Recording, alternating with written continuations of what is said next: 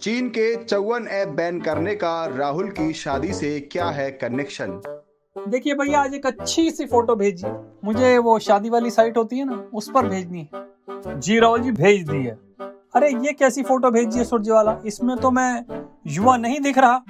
राहुल जी, वो दरअसल बात ऐसी है, मोदी जी ने चीन पर साइबर सर्जिकल स्ट्राइक की है। अरे तो उससे मेरी फ़ोटो का क्या लेना देना? राहुल जी, दरअसल मोदी जी ने जो चौवन चीनी ऐप पर रोक लगाई है। उनमें से एक ब्यूटी ऐप भी है, जिसमें हम आपकी फ़ोटो डालकर और ट्रीटमेंट करके आपको युवा दिखाते थे। सुरजेवाला मोदी जी ने मेरा पीएम बनने का सपना पहले ही तोड़ चुके हैं वो। और अब ब्यूटी ऐप पर बैन लगाकर मेरी शादी पर भी भांजी मार दी।